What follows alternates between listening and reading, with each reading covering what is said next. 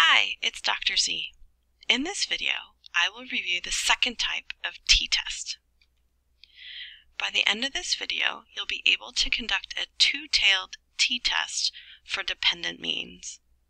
Please print the corresponding handout for this video and feel free to pause the video at any time to take notes on the handout. A t-test allows researchers to conduct a hypothesis test when population variance, sigma squared, is not known. There are three different types of t-tests. The second type is known as a t-test for dependent means. In its simplest form, the sample will be tested twice, like having a pre-test and a post-test. In other words, the sample is dependent on themselves because we're testing if there's a difference before and after a drug or treatment. This video will explain how researchers can do that. The second type of t-test is called a t-test for dependent means. First, the t refers to the fact that we do not know population variance. Second, the word test refers to a hypothesis test. Third, dependent, like I mentioned before, refers to the sample being tested twice. And fourth, we will calculate the sample mean, of the difference between those pre and post test scores. When all put together, this is the definition for a t-test for dependent means. This test is also referred to as a related samples t-test.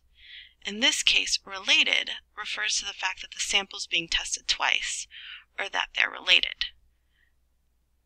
Before we review the hypothesis test, there are two important concepts about this t-test that need to be reviewed first.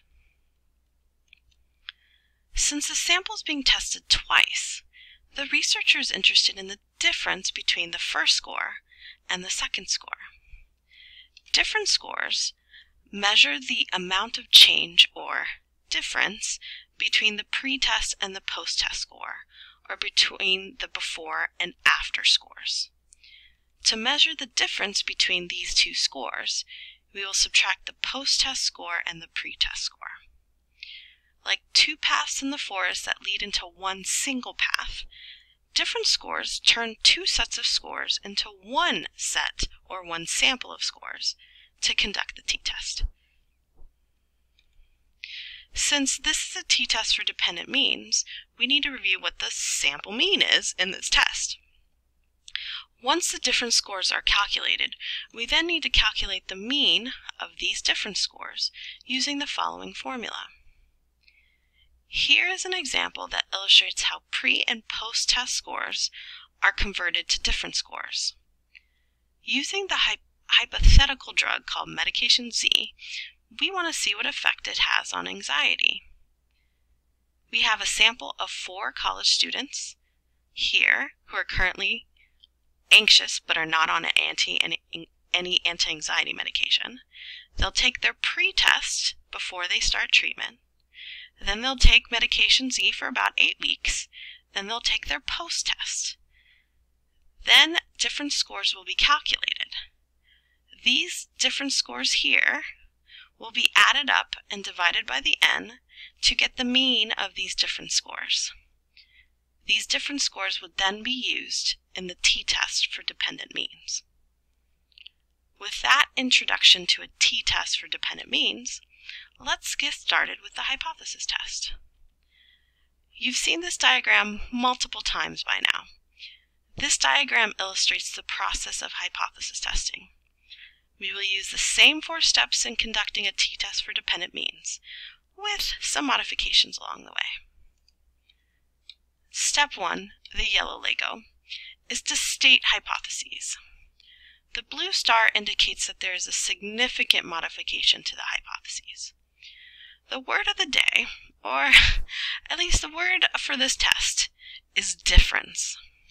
Since the sample is being tested twice, the researcher needs to determine if there's any difference between the pre-test and the post-test scores. The researcher then calculates the mean or average of the different scores. Therefore, the written statement for hypotheses must include the wording on average. Since we're calculating the average of the different scores, then the notation will also reflect this difference. In notation, it will be mu subscript d, where the d stands for, you get it, difference scores. If there's no difference between the pre-test and post-test scores once the average is calculated, then mu d will always equal zero. In other words, if there truly is no difference between the first score and the second score, it will average out to be zero. The research hypothesis will reflect the wording on average as well. And in notation, if there is a difference between the first score and second score, the average will not equal zero. This is the step that typically confuses students, so just keep practicing. Step two, the blue Lego, is to set the criteria to make a decision. Well, guess what? Fortunately, this step stays the same as it would for our first t-test, the t-test for a single sample. Step 3. The red Lego is to collect data and calculate sample statistics. This step actually mostly remains the same as it would for a t-test for a single sample. First, we will calculate estimated population variance, which is the same formula as the t-test before. Second, we will calculate estimated standard error, which again is the same formula as the t-test before. Third, we will calculate the t-score for the sample mean of difference scores, which is a slight variation from the previous t-test. It is basically the same formula with mu subscript d instead here to reflect that we're comparing the difference scores. The blue star indicates that this is an important modification to the t-score formula. Step 4, the green Lego, is making a decision about whether the study worked or not. Guess what? this step stays the same as it would for a t-test for a single sample. Wow, now that we, that we have reviewed the steps of a t-test for dependent means, are you ready to practice your new knowledge? I have one practice example for you to review. This is a short summary of the four steps that we described above. Please note that these steps are for a two-tailed t-test for dependent means. Modifications for this test are noted in bold. Please pause the video to write the, down these steps on the video handout. This lecture example wants to study the effect of the new drug called medication Z on anxiety. Since we do not know what effect medication Z will have on anxiety, we will conduct a two-tailed test with non-directional hypotheses.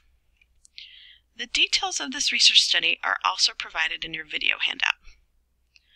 A sample of n equals 5 students take the anxiety inventory as a pretest. After 8 weeks of treatment with medication Z, the sample takes the anxiety inventory again. After calculating the difference scores and taking the mean of those different scores, the sample had a mean of negative 4 on anxiety and a sum of squares of 50. I encourage you to pause the video here and try to do the four steps on your own first. Then resume the video to show the answers. Step 1. Since we're studying the average of the difference in anxiety before and after medication Z, the hypotheses will include these variables. Since we're interested in the difference between pre and post-test scores, and we then take the mean or average of those different scores, we will use D to refer to difference scores. In notation, if there is no difference between the pre and post-test scores, once the average is calculated, then mu D equals zero. The research hypothesis will reflect that there is a difference on average, and in notation, if there is a difference, between the pre and the post-test scores once the average is calculated, the mu d does not equal zero.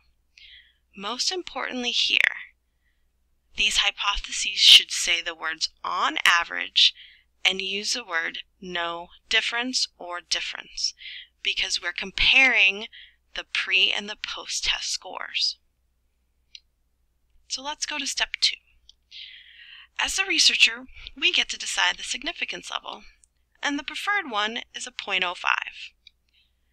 Second, we'll calculate degrees of freedom, which is 4.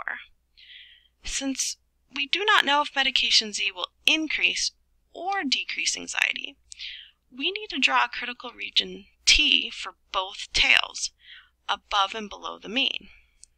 The corresponding T scores for a 0.05 significance level with a degrees of freedom 4 is T plus or minus 776. The box indicates the final answer that I will be looking for on problem sets and exams. Because the t-table provides scores to three decimal places, you may keep the answer to three decimal places. Step 3. Since we do not know population variance, sigma squared, we need to estimate both variance and standard error.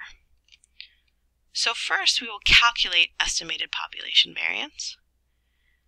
Then we will calculate estimated standard error.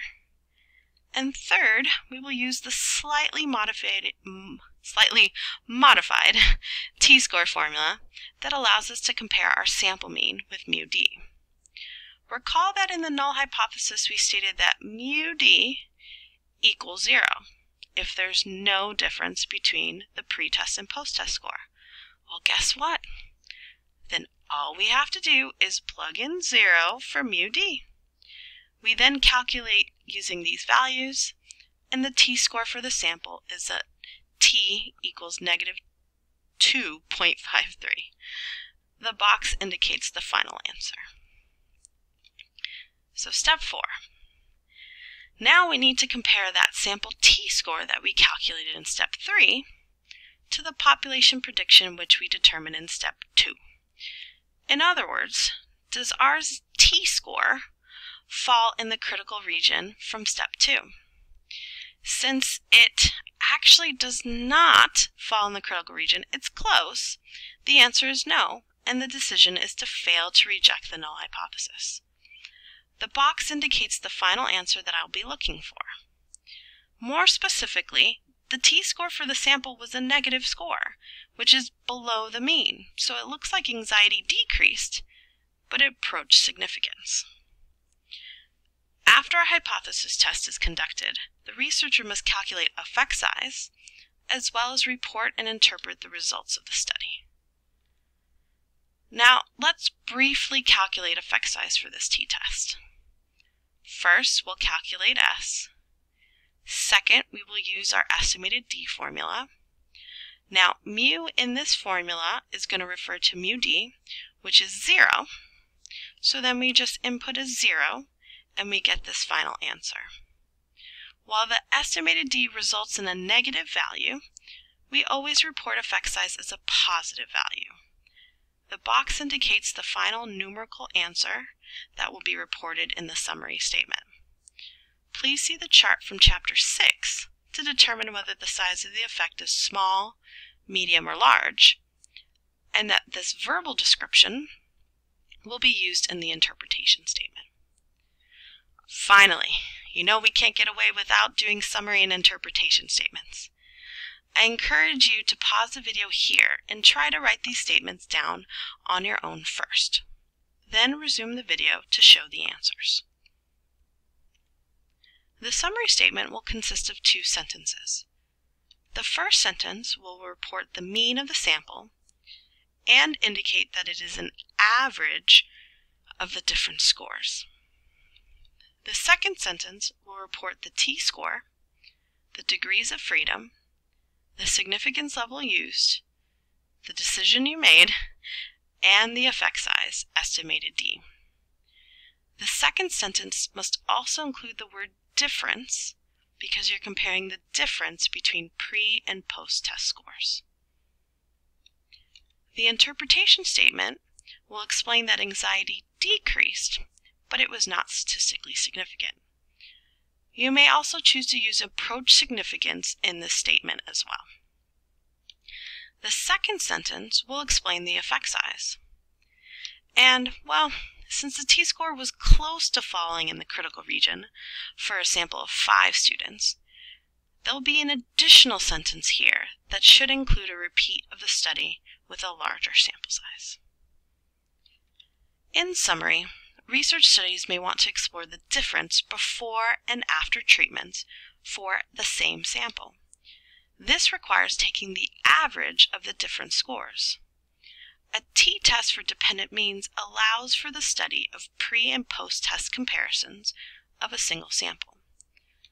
Learning how to conduct a t-test for dependent means is one more important Lego building block needed to understand statistics.